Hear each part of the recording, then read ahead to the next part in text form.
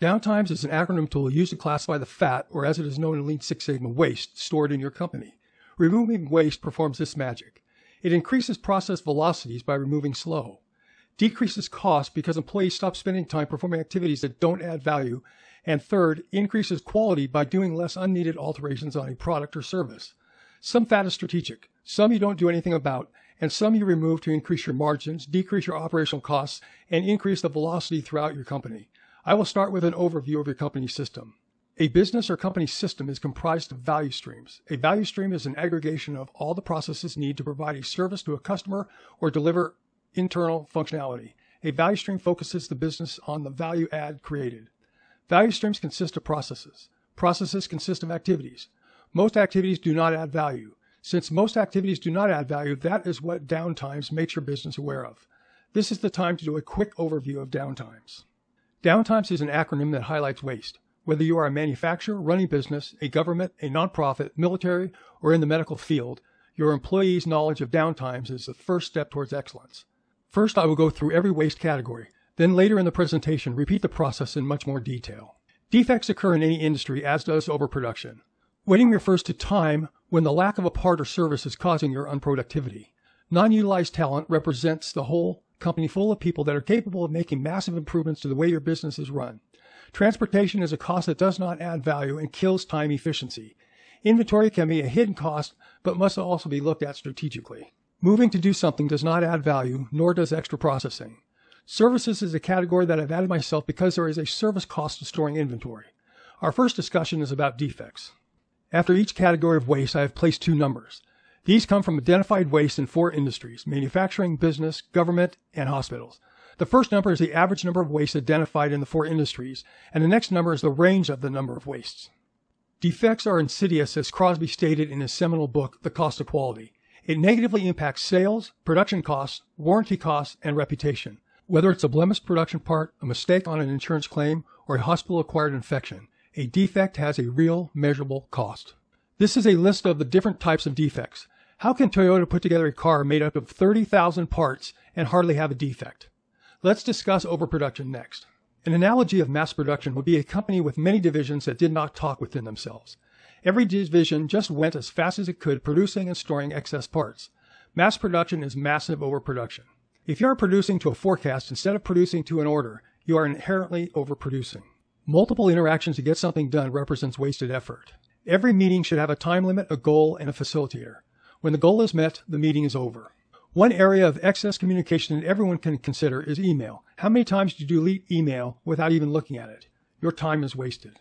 Any unexpected downtime, such as a fire drill, waiting for someone to finish something before you can start, or a stopped assembly line, represents non value added activities or something a customer will not pay for. Setup may be necessary, but it does not add value. Any time spent waiting for the next process to finish is waste. If you cannot move forward because you're waiting for a response or waiting for signatures that are not really needed, that is a waste. If the signee does not read or process the document, then why are they signing? This is a huge missed opportunity. Toyota's continuous improvement program generates about one idea every month by every person in the company. It is not a generic idea, but an idea that is directed towards a company defined vision or challenge. Lack of teamwork and poor communication are signs of an opportunity squandered. If individuals are not operating at the high standard of your company, then it's possible that lack of training is the reason. Every person in a company is an expert at what they do. If you just ask, they will tell you how to improve what they do. Some of the different waste categories overlap. For instance, when you're waiting for delivery, it could be transportation, it is also waiting. It can also be thought of as any sort of movement of supplies, any supplies. Forklifts represent 100% waste.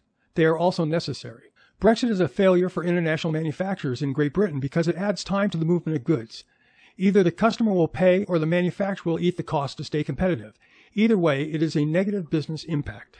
Mailing may be a waste, but is necessary or maybe not. DocuSign is a company that addresses that waste. Inventory is the only waste that I consider strategic.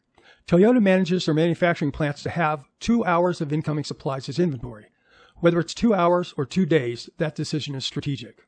Inventory can also represent strategic buffers. In a Toyota plant, if an assembly line worker detects a defect, they pull a cord that stops the assembly line. Toyota strategically places inventory in the assembly line such that the stop only impacts a small part of the assembly line. That is strategic. Just in time means that supplies show up just when they need to. It is based on a pull methodology and works whether you are building cars or deploying pencils. There's an opportunity to cut costs whenever you have inventory just sitting around. When you build a forecast, you're producing a product for a buyer that doesn't exist. A successful company that builds to order will also work heavily to smooth customer orders. Mass production is a 100 year old manufacturing concept that has been replaced with lean production. Lean production is a fully integrated production capability that is designed to build a product based on an order. I was in a doctor's office when the individual that took the credit card payment had to walk across a busy aisle to use the credit card machine.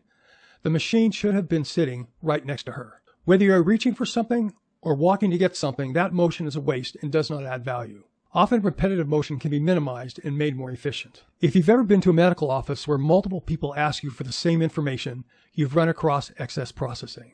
Do you really accomplish your business goal by requiring five signatures instead of maybe two? Reports or documentation can be very valuable, but if they are not used, they are just a waste. An audit may have value that it verifies your process is correct, but that is a costly way to check. There should be a gold standard for data. It does not have to be all in the same place, but data must have unique value. The services apply mostly to the storage of inventory.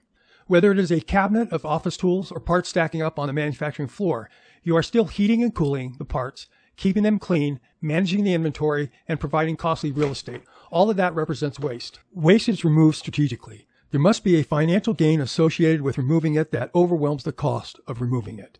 Removing waste focuses all employees' eyes on what it takes to deliver value. Inventory can have a strategic value. However, the goal of removing it all is noble. You can use the Toyota Production System and Lean Six Sigma as a model to move towards excellence. I am Jim Fitzgerald, a Lean Six Sigma Master Black Belt, an expert on how you can build your Toyota production system, and a proponent of using innovation. Contact me to begin this journey. This last slide contains the directions on how you can build your production system just like Toyota. This applies to manufacturers, businesses, and hospitals. Click on the presentation for more information.